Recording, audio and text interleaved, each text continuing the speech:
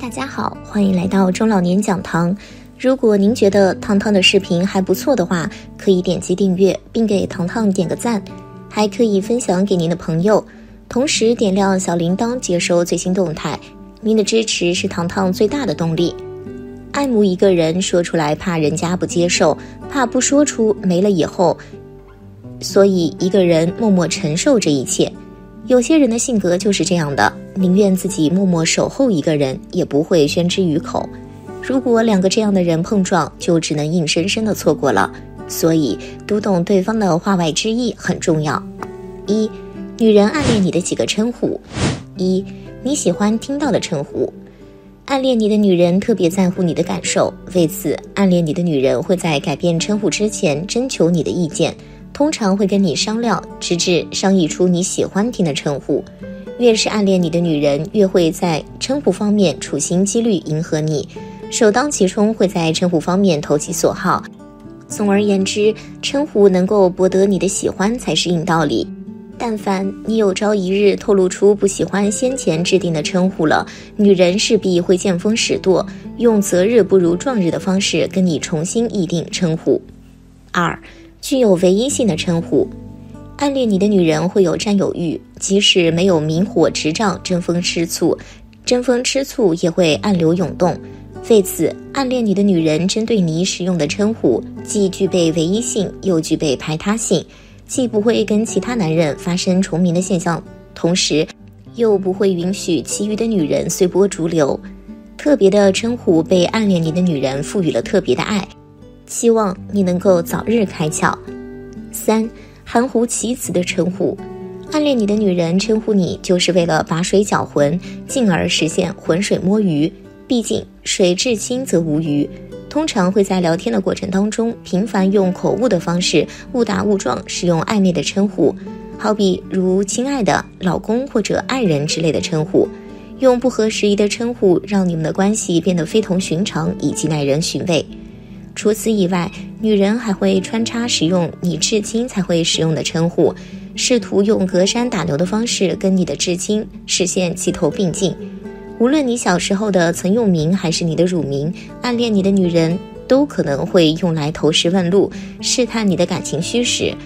女人暗恋你的终极目标就是成为你的至亲，把混淆视听的称呼派上用场，只不过是直奔主题的手段。二。婚姻后的称呼：一小妖精。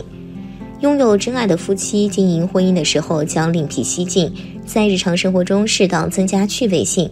如若男人无与伦比爱上你，将会认为你分外妖娆，既妩媚又娇滴滴，并且会配套使用小妖精的称呼跟你打情骂俏。无论男人称呼你为小妖精，还是你听到小妖精的称呼，你和男人都会乐此不疲，乐在其中。小妖精的称呼可以作为专属的私房称呼，唯有相对应的男人才能叫你。由此，真爱就划定了范围，真爱领地意识就会凸显出来。小妖精的称呼既能够体现出真爱，又能够在一定程度上升华真爱。小妖精的称呼可谓有多种作用，简直是一举多得。二，还他妈。真爱需要看得见以及摸得着的证明，爱情的结晶就是真爱重中之重的见证。如若男人真爱你，就会跟你结婚；如若条件允许，又会跟你生孩子。等到万事俱备，还他妈这一称呼不是欠缺的东风，胜似欠缺的东风。还他妈这一称呼就是真情流露的必然。既然横空出世，也就会呼之欲出。孩子是婚姻的纽带，没有真爱的夫妻反倒会认为纽带成为牵绊。男人肆无忌惮用“孩他妈”称呼你，说明男人既把婚姻的纽带当成甜蜜的负担，又会用“孩他妈”这一称呼强化婚姻的纽带，让婚姻的纽带日益牢靠。与此同时，男人希望以心换心，进而礼尚往来，希望你能够使用“孩他爸”作为称呼。三老太婆。老太婆的称呼意味深长，不仅蕴含了老伴的含义，而且蕴含了太太的含义，重中之重还有老婆的含义，简直是三位一体。不得不说，老太婆的称呼分量没有最重，只有更重，称呼起来却举重若轻。男人真爱你的话，将会希望跟你白头偕老。偶尔使用老太婆的称呼，既是男人对未来的憧憬，又是男人对你的肯定。如若你还没有成为老女人，老太婆的称呼将会衬托出你的年轻。到时候，你无论叫男人老头儿，还是叫男人老伴，都会实现交相辉映。正如上了年纪的夫妻喜欢穿较为鲜亮的衣服，有次你和男人没有上年纪的话，使用较为年老的称呼，将会歪打正着，实现截长补短，生活得以优势互补。三，女人对男人的心动。过了六十岁的女人，在余生是否还会对男人动心？唯有过了六十岁的女人才能够说出。所以，只有经历过后，才会有发言权。有几位过来人表述了自己的心声，一起看看吧。一，安女士，六十一岁。我是女人，因此我更了解女人。别说过了六十岁，我估计即使过了七十岁或者八十岁的女人，之所以迟迟没有出现心动的迹象，是因为没有遇见心仪的男人。等到遇见心仪的男人，极有可能会心动。正所谓食色性也，对我来说，只不过伴随年龄逐渐增长，虽然欲望会逐步衰退，但是到达一定的条件，将会再一次激发出来。欲望的大小跟条件符合的程度息息相关。我有追求爱情的权利，即使我暂时没有需求，我也会保留追求爱情的权利。二，李女士，六十三岁。无论我的年龄大还是小，都会出现不同程度的动心。我的本能不会因为年龄增长就彻底消失，充其量会逐渐消失。只要我还活着，随时随地有可能会对男人动心。邂逅可遇而不可求的男人，将会成为我动心的理由。我对男人动心的根本原因是重启了审美需求以及精神需求。当然，等到我进一步了解男人以后，还会伴随物质需求。动心终将回归到现实的层面，动心的内心动力就是为了消除寂寞以及消除孤独，渴望得到陪伴。如若我的身体健康允许，照样会有或大或小的生理需求。三，刘女士，六十五岁，我认为动不动心不在乎年龄多么大，毕竟人有七情六欲。只要没有邪念，女人看到心仪的帅哥会动心，男人看到心仪的美女会动心，基本上是人之常情，原本无可厚非。发起感情攻势的过程，就是心动不如行动的过程。是否会动心，跟我的年龄没有关系，关键是我有没有遇见值得让我动心的男人。只要在合适的环境下以及允许的条件下，无论跟我同龄的女人，还是比我年龄大的女人，都会有心理反应。心理反应既是动心又是动情，毕竟人非草木，孰能无情？总之，生活当中从来就没有缺乏过缘分，有的只是缺少发现缘分的男人。特别是对待女人意味深长的称呼会充耳不闻，简直是错失良机。中年才是一生中最通透的时候，这个时候的女人更习惯婉转认真的传达爱意。曾经有过这样一句话。爱情不可能长久的隐藏，也不可能长久的伪装，但想要确定这个女人是否真正的把你放在心上，却不是那么容易的事情。当一个中年女人悄悄向你传递以下这些信息的时候，就是想和你发展爱情，千万不要忽略。一，遇到事情共同承担。大家都知道，患难见真情，一个真正将你放在心上。打算与你共话未来、携手并进的人，一定会是你温暖的避风港。他愿意在你受挫时陪伴你度过难关，愿意在你情绪低落时照顾你，不将情爱挂在嘴边，与你共同承担一切，勇敢护你的人，看不得你受苦，看不得你委屈，就算自己并不强大，也要将你护在身后，为你遮风挡雨。两个相互倾慕的人之间，更多的是相互扶持。当你倦了，我便为你撑起一片天；当我倦了，便躲进你为我打造的温房。你知道吗？深爱你的人才会这么做。步入中年，都将情爱看得如此淡薄，甚至遇到对方的缘分难得。更多的情况下，要的不是用来望梅止渴、缠绵情话。而是一转身，你便在灯火阑珊处，能够在平凡中相伴，漫长中坚守。